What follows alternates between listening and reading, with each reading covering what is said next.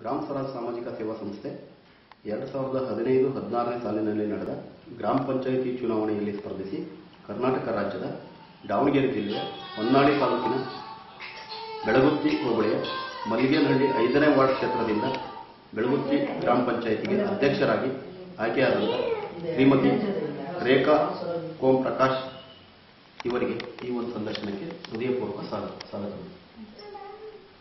Madam ನೀವು ಈ ಒಂದು ಗ್ರಾಮ ಪಂಚಾಯಿತಿ ಚುನಾವಣೆಗೆ ನಿಲ್ಲುವ ಪೂರ್ವದಲ್ಲಿ ಏನು ಒಂದು ವೃತ್ತಿಯನ್ನ ಮಾಡ್ತಾ ಇದ್ದೀನಿ ನಾನು ಪ್ರೈವೇಟ್ ಸ್ಕೂಲ್ ಟೀಚರ್ ಹೋಗ್ತೀನಿ ಸರ್ ಆ, ರಾಜಕೀಯಕ್ಕೆ ಬರಬೇಕು ಅನ್ನೋದಕ್ಕಿಂತ ಹೆಚ್ಚಾಗಿ ಜನರ ಸೇವೆ ಮಾಡಬೇಕು ಅನ್ನೋದು ಒಂದು ಇದಾಯ್ತು. ಅದು ನಾನಾಗಿ ಇಷ್ಟಪಡೋದಕ್ಕಿಂತ ಜನರಾಗಿ ಬಯಸಿ ನೀವು ಎಲೆಕ್ಷನ್ ಇದ್ರೆ ನಿಲ್ಲಬೇಕು ಅಂತ ಒತ್ತಡ ಹಾಕಿದ್ದಕ್ಕೆ ಎಲೆಕ್ಷನ್ ನಿಲ್ಲಿಕ್ಕೆ ಮುಂದಾಗುತ್ತೆ ತುಂಬಾ ಸಂತೋಷ ಜನರ ಅಪೇಕ್ಷೆ ಮೇರೆಗೆ ನೀವು ಚುನಾವಣೆಗೆ ಸ್ಪರ್ಧಿಸಿ ಪ್ರಥಮ ಹಂತದಲ್ಲೇ ವಿಜಯಶಾಲಿಯಾಗಿದ್ದೀರಿ ಹಾಗೂ ಅಧ್ಯಕ್ಷರು ಕೂಡ ಆಯ್ಕೆಯಾಗಿದ್ದೀರಿ. ಸಂತೋಷ. ಮೇಡಮ್ ನೀವು ಈಗ ಅಧ್ಯಕ್ಷರಾಗಿ ಆಯ್ಕೆಯಾಗಿ ಹನ್ನೊಂದು ತಿಂಗಳು ಕಳೆದಿದೆ. ಈ ಒಂದು ಅವಧಿಯಲ್ಲಿ ನಿಮ್ಮ ಈ ಐದನೇ ವಾರ್ಡ್ ವ್ಯಾಪ್ತಿಯಲ್ಲಿ, ನಿಮ್ಮ ಕ್ಷೇತ್ರ ಇದೆಯಲ್ಲ ಈ ವ್ಯಾಪ್ತಿಯಲ್ಲಿ ಹಾಗೂ ಈ ಗ್ರಾಮ ಪಂಚಾಯತಿ ವ್ಯಾಪ್ತಿಯಲ್ಲಿ ಸೊ ಏನೇನು ಅಭಿವೃದ್ಧಿ ಕಾರ್ಯಗಳನ್ನು ಮಾಡಿಕೊಟ್ಟಿದ್ದೀರಾ ಜನರಿಗಾಗಿ? ಜನರಿಗಾಗಿ ಒಂದು ರಸ್ತೆ ಮಾಡಿಸ್ಬೇಕು ಅಂತ ಅಂದ್ರೆ ಯಾವುದೇ ಒಂದು ಕೆಲಸ ಮಾಡಿಸ್ಲಿಕ್ಕೆ ಕಂಪ್ಲೀಷನ್ ಅನ್ನೋ ಆಗೋದಿಲ್ಲ ಸರ್. ಗ್ರಾಮ ಪಂಚಾಯತಿಯಿಂದ ಏನೇ ಒಂದು ಕೆಲಸ ಮಾಡಿಸ್ಬೇಕು ಅನ್ನೋ ಒಂದು ಕಂಪ್ಲೀಟ್ ಅನ್ನೋದು ಇಲ್ಲ ಪದ ಬಳಸೋಕೆ ಆಗೋದಿಲ್ಲ ನಮ್ಗೆ. ಯಾಕೆ ಅಂತಂದ್ರೆ ಬರೋ ಅನುದಾನ ಕಡಿಮೆ ಇರುತ್ತೆ. ಅದು ಅನುದಾನ ಎಷ್ಟಿರುತ್ತೋ ಅಷ್ಟೇ ಮಾತ್ರ ಕೆಲಸ ಮಾಡಿಸ್ಲಿಕ್ಕೆ ಸಾಧ್ಯ. ಆ ರೋಡ್ ಮಾಡಿಸ್ಬೇಕು ಅಂತ ಹೋದ್ರೆ ಅಲ್ಲಿ ಇಷ್ಟೇ ಮೀಟರ್ ಅಂತ ಆಗುತ್ತೆ. ಯಾಕೆಂದ್ರೆ ಅಲ್ಲಿ ಅಮೌಂಟ್ ಇರೋದಿಷ್ಟು ಇಷ್ಟು ಹಣಕ್ಕೆ ಇಷ್ಟು ಮೀಟರ್ ಮಾಡ್ಬೋದು. ಅಷ್ಟು ಮೀಟರ್ ಮಾಡಿ ಬಿಡ್ತೀವಿ ಅಷ್ಟೇ ಅರ್ಧ ರೋಡ್ ಮಾಡಿದೀವಿ, ಅರ್ಧ ಮರ್ಧ ಚಿರಂಡಿ ಮಾಡಿದೀವಿ ಅಂತ ಹೇಳ್ಕೋಬಹುದು ಅಷ್ಟೇ ಸರ್ ಯಾಕೆ ಅಂತಂದ್ರೆ ಇರೋ ಅಮೌಂಟ್ ಅಷ್ಟಿದೆ, ಅಷ್ಟು ಕೆಲಸ ಮಾಡ್ತಿದ್ದೀವಿ. ಅದು ಕೂಡ ಫೋರ್ಟೀನ್ ಫೈನಾನ್ಸ್ ಅದು ನೀರಿಗಾಗಿ ಬಳಕೆ ಮಾಡಬೇಕು. ನಮ್ಮ ಪಂಚಾಯತಿಲಿ ನೀವು ಬಂದು ಇವತ್ತು ಕೂಡ ನೋಡ್ಕೊಂಡು ಹೋದ್ರೆ ನಾನು ಅಧಿಕಾರ ಹಿಡಿದಾಗಿಂದ ಇಚ್ಛೆಗೆ ಒಂದು ರೂಪಾಯಿ ಇದ್ರೂ ಕೂಡ ಇಲ್ಲಿ ಭ್ರಷ್ಟಾಚಾರ ಆಗಿಲ್ಲ. ಇದು ನಾನು ಹೆಮ್ಮೆಯಿಂದ ಹೇಳ್ಕೊಂತೀನಿ. ತುಂಬಾ ಸಂತೋಷ. ಆದ್ರೆ ಇಷ್ಟು ಕಡಿಮೆ ಅವಧಿಯಲ್ಲೇ ನೀವು ಸಾಧ್ಯವಾದಷ್ಟು ಮೂಲಭೂತ ಸೌಕರ್ಯಗಳ ಬಗ್ಗೆನೇ ಆದ್ಯತೆ ಕೊಟ್ಟು ಒಳ್ಳೆ ಕೆಲಸ ಮಾಡಿದ್ದೀರಿ.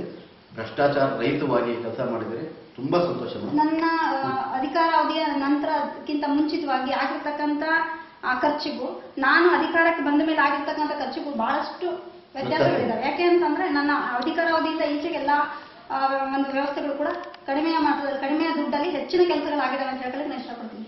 ತುಂಬಾ ಸಂತೋಷ ಮೇಡಮ್ ನಿಮಗೆ ಇನ್ನೂ ಒಂದು ನಾಲ್ಕು ವರ್ಷದ ಅವಧಿ ಇದೆ. ಈ ಒಂದು ಅವಧಿಯಲ್ಲಿ ನೀವು ನಿಮ್ಮ ಗ್ರಾಮ ಪಂಚಾಯತಿಗೆ ಏನೇನು ಕೆಲಸ ಕಾರ್ಯಗಳನ್ನು ಮಾಡಬೇಕು ಅಂತ ಹೇಳಿ ಒಂದು ಯೋಜನೆಗಳನ್ನು ಮಾಡಿದ್ದೀರಿ. ಸರ್ ಜನರು ಫಸ್ಟ್ ಕೇಳೋದು ನೀರು. ಆದ್ರೆ ನಮ್ಮ ಪಂಚಾಯತಿಯಿಂದ ನೀವು ಎಷ್ಟೇ ಇದು ಮಾಡಿದ್ರು ಕೂಡ ನೀರನ್ನೇ ಕೊಡಕ್ ಆಗ್ತಲ್ಲ ನಮ್ಗೆ. ಬೇಸಿಗೆ ಬಂತು ಅಂದ್ರೆ ನಾವು ಏನೇ ಮಾಡಿದ್ರು ಕೂಡ ನೀರು ಕೊಡಕ್ಕಾಗಲ್ಲ ಜನರ ಹತ್ರ ಬಯಸ್ಕೋಬೇಕು ಫಸ್ಟ್ ನಾವು ಜನರನ್ನ ಎದುರ್ಸಕ್ ಆಗ್ತಾ ಇಲ್ಲ ಪಂಚಾಯತಿಯವರಾಗಿ. ಎಲ್ಲಿ ನಿಂತ್ರು ಕೂಡ ಫಸ್ಟ್ ಕೇಳೋದು, ಏನ್ರಿ ನೀವು ಪಂಚಾಯತಿಯವರಿಗೆ ಕುಡಿಯಕ್ ನೀರು ಕೊಡಕ್ಕಾಗಲ್ಲಲ್ರಿ ನಿಮಗೆ? ಅಂತ. ನಿಮಗೆ ಓಟ ಗೆಲ್ಸಿದ್ರಿ ಅಂತ ಏಕ್ದಮ್ ಬೈತಾರೆ. ಅದನ್ನ ಅವಮಾನ ಸಹಿಸ್ಕೊಳಕ್ ಆಗಲ್ಲ ಸರ್ ನಮ್ಗೆ. ಯಾಕಂದ್ರೆ ನೀರೇ ಕೊಡಕ್ಕಾಗಲಿಲ್ಲ ಅವ್ರು ಬಯ್ಯೋದು ಸರಿ ಇರುತ್ತೆ, ನಾವು ಬಯಸ್ಕೊಳ್ಳೋದು ಸರಿ ಆದ್ರೆ ತಪ್ಪು ನಮ್ಮದಲ್ಲ.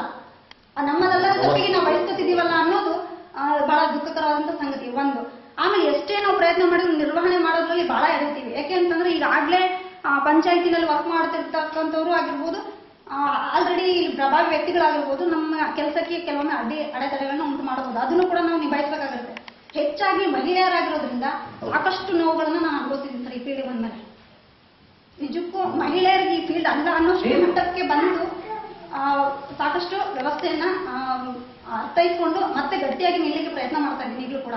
ನಿಜವಾಗೂ ನಿಮ್ಮ ಮನದಾಳದ ಮಾತನ್ನು ಕೇಳಿ ನನಗೆ ನಿಜವಾಗೂ ಬಹಳ ಒಂದು ಒಂದು ರೀತಿಯಲ್ಲಿ ಹೆಮ್ಮೆ ಅನಿಸ್ತಾ ಇದೆ.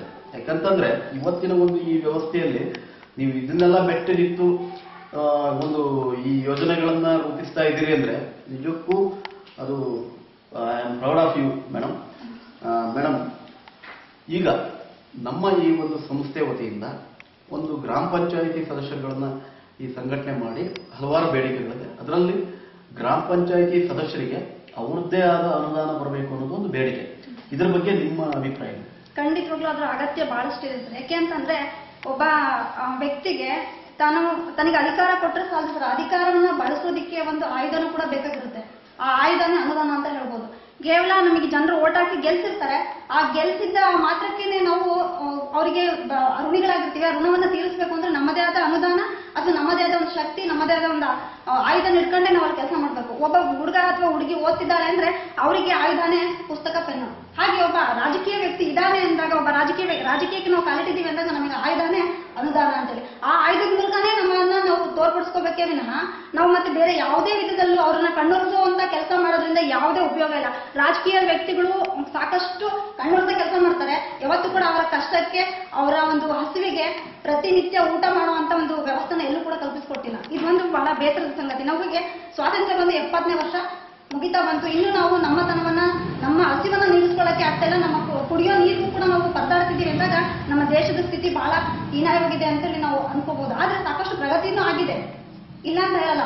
ಆದ್ರೂ ಕೂಡ ಹಸಿವನ್ನ ನೀಗಿಸ್ಕೊಳ್ಳೋ ಮಟ್ಟಕ್ಕೂ ನಾವು ಇಲ್ಲ ಅಂದಾಗ ಅದು ಪ್ರಗತಿಯ ಲಕ್ಷಣ ಅಲ್ಲ ಅಂತೇಳಿ ಅನ್ಸುತ್ತೆ ಸರ್. ಮಾತು ಖಂಡಿತ ಸತ್ಯ ಮೇಡಮ್.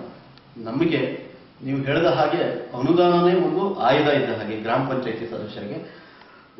ಮೇಡಮ್, ನಾನು ಹೇಳೋದು, ಈಗ ಈಗ ಹಾಲಿ ಸರ್ಕಾರ ಕೊಡ್ತಕ್ಕಂಥ ಅನುದಾನ ನಿಮ್ಮ ಈ ಅಭಿವೃದ್ಧಿ ಕೆಲಸಗಳಿಗೆ ಸಾಕಾಗತ್ತ ಅಂತ?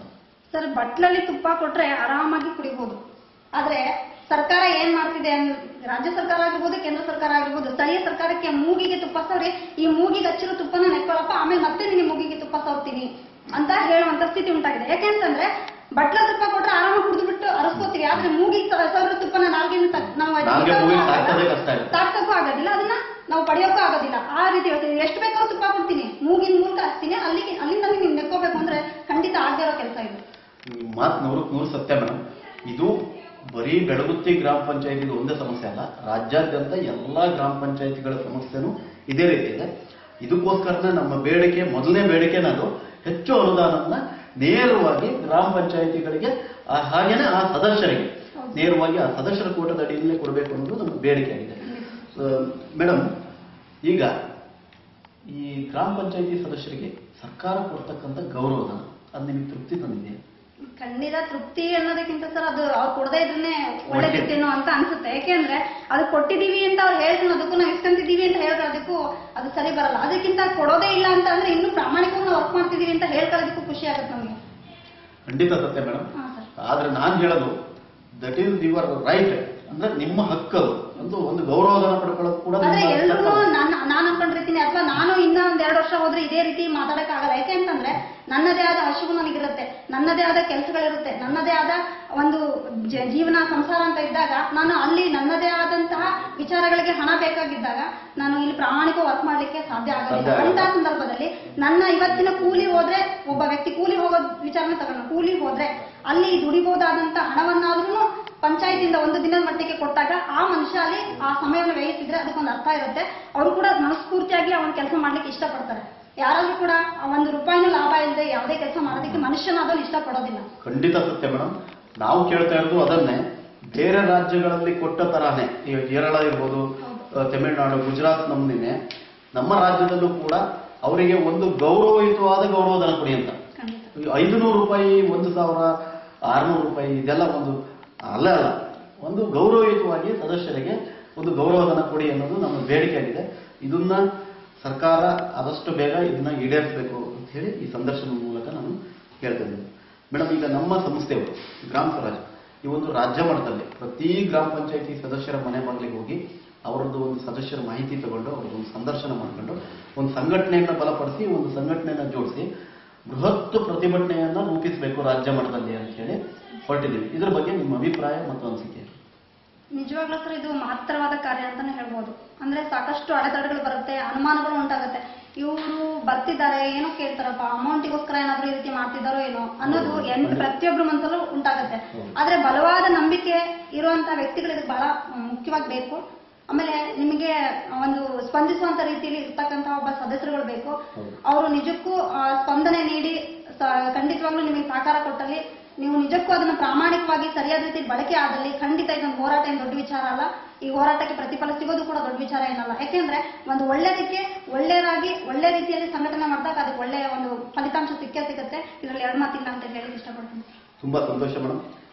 ಇದುವರೆಗೂ ನಮ್ಮ ಈ ಸಂದರ್ಶನದಲ್ಲಿ ಪಾಲ್ಗೊಂಡ ಮಲ್ಲಿಗೇನಹಳ್ಳಿ ಐದನೇ ವಾರ್ಡ್ ಕ್ಷೇತ್ರದಿಂದ ಬೆಳಗುಟ್ಟಿ ಗ್ರಾಮ ಪಂಚಾಯತಿಗೆ ಅಧ್ಯಕ್ಷರಾಗಿ ಆಯ್ಕೆಯಾದಂಥ ಶ್ರೀಮತಿ ರೇಖಾ ಕೋಂ ಪ್ರಕಾಶ್ ಅವರಿಗೆ ನಮ್ಮ ಸಂಸ್ಥೆಯ ಪರವಾಗಿ ಹಾಗೂ ವೈಯಕ್ತಿಕವಾಗಿ ಹೃದಯಪೂರ್ವಕ ಅಭಿನಂದನೆಗಳನ್ನು ಸಲ್ಲಿಸುವ ಜೊತೆಯಲ್ಲಿ ಈ ಅಭಿನಂದನಾ ಪತ್ರವನ್ನು ಕೊಡ್ತೇನೆ.